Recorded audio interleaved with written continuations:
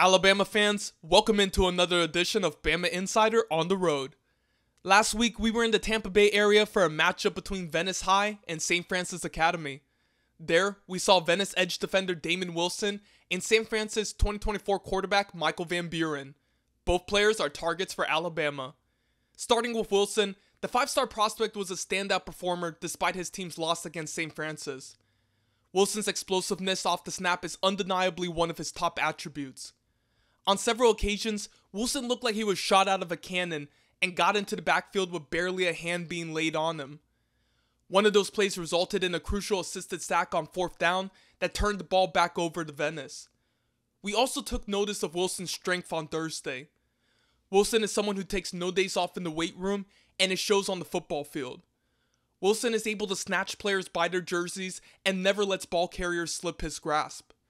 He even had a play where he unintentionally lifted a St. Francis player off his feet on a tackle, a testament to the strength that he plays with. Wilson is a long, athletic prospect, with his body frame being similar to that of a Dallas Turner or a Will Anderson. Alabama head coach Nick Saban has even told him during a previous visit that he has the frame they're looking for at the jack position. As his On3 scouting report notes, Wilson is highly technical and polished with his hands already. He looks and plays the part of a five star prospect and is well deserving of being the fourth ranked player overall on On3's 2023 rankings. Switching gears, Michael Van Buren is the number 8 quarterback on the 2024 On3 consensus and has been in possession of an Alabama offer since March. There wasn't much to see from Van Buren from a passing perspective on Thursday. St. Francis primarily stuck with the run game, and when they did go to the air, it was short to intermediate passes. Van Buren did, however, have an excellent pass on a touchdown strike in the second quarter.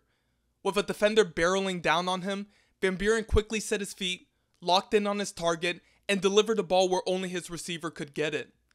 Van Buren also had some solid runs, including a 40 yard plus rush in the first quarter.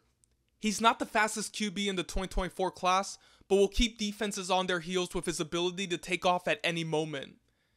Van Buren is high on the Crimson Tide and should be returning to Tuscaloosa next month for the Texas A&M game. Thank you all for tuning into this video.